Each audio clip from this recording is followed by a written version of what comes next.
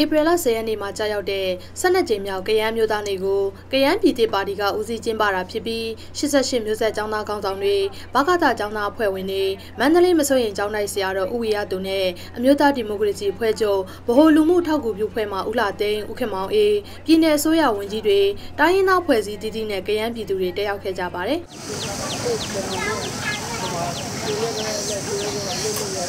က ရင်ပြည်နယ်လိတ်တုံမြို့နယ်ကွယ်တောက်ရီကကျေးရွာမှာပြုလုပ်တာဖြစ်ပြီးကရန်မျိုးသားနေ့မတိုင်ခင်ဧပြီလ9ရက်နေ့ညနေပိုင်းမှာတော့ကရန်မျိုးသားအလံလွှင့်ထူပွဲကျင်းပခဲ့ပါတယ်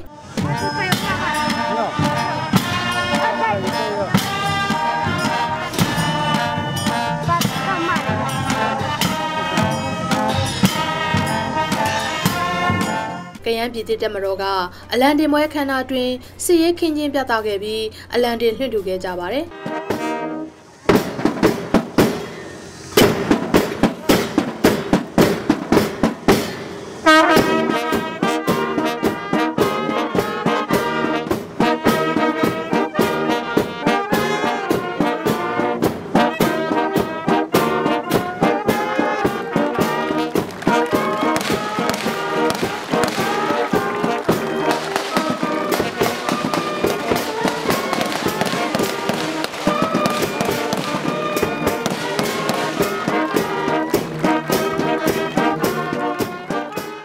အဲဒီနောက်ကရန်ပြည်သူတွေကတိုင်းရင်းသားရိုးရာအကတွေနဲ့ဖျော်ဖြေခဲ့ကြပြီးတက်ရောက်လာတဲ့ဧည့်သည်တွေနဲ့တရင်တနည်းကပြဖျော်ဖြေခဲ့ကြပါတယ်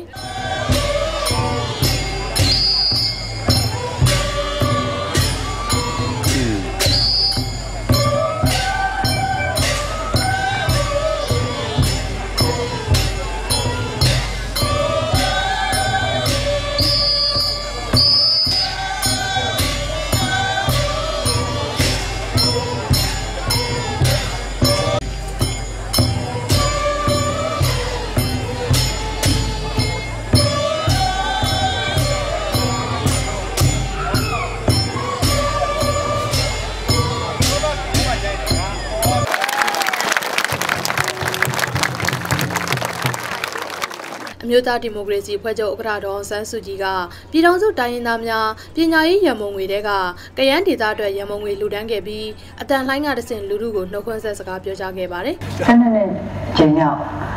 ကရန်အမျိုးသားနေခန္ဓာကိုကျွန်မကိုယ်တိုင်မလာနိုင်တဲ့အတွက်များစွာဝင်းနေပါတယ်တောင်းပန်ပါတယ်အခုချိန်ခါမှာဆိုလို့ရှိရင်ကျွန်တော်တို့မျိုးသားဒီမိုကရေစီဖွဲ့ချုပ်လုပ်ငန်းတွေကအရှိန်ဟုန်နဲ့တနေ့နဲ့တနေ့ပို့ပို့ပြီးတော့များလာတာကြောင့်မလို့ကျွန်မအနေနဲ့ခရီးသွားဖို့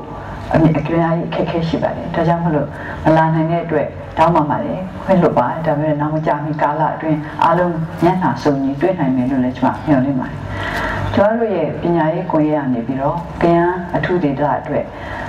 ရန်ကုန်ဝေးပညာရေးရန်ကုန်ဝေးရန်ကုန်ဝေးပို့နိုင်တဲ့အတွက်ကျမတို့အင်တာမပီတိဖြစ်ရပါတယ်။ဒါပေမဲ့ဒါကျမတို့လုတ်ပေးခြင်းနဲ့စေတနာတွေနဲ့စာလို့ရှိလို့ရှိရင်တော့ဒီပေးပို့လိုက်တဲ့ငွေဟာဘာမှမဟုတ်ပါဘူး။ကျမတို့အများကြီးပို့ပြီးတော့ကူညီခြင်းပါတယ်။အများကြီးပို့ပြီးတော့ကရန်အမျိုးသားများတိုးတက်ရေးအတွက်အဖက်ဖက်ကနေပြီးတော့ဝိုင်းဝန်းပြီးတော့ကျမတို့လှုပ်ဆောင်ပေးခြင်းပါတယ်။ဒီလိုလဲလှုပ်ဆောင်ပေးနိုင်မယ်လို့ကျမတို့မျှော်လင့်ချက်တွေအပြည့်အဝရှိပါတယ်။ဧပြီလ10ရက်နေ့မှာတော့ကရန်မျိုးသားနေ့ခမ်းနားကိုကြီးကျယ်ခမ်းနားစွာကျင်းပခဲ့ကြပါတယ်။